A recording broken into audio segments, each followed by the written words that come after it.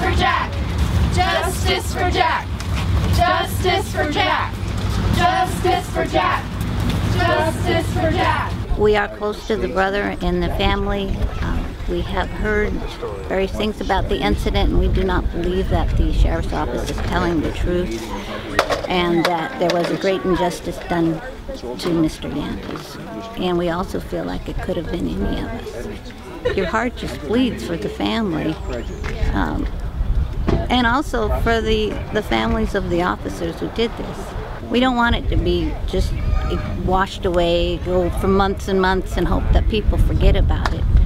We want something, some resolution to come of this and to have justice for the Yantis family.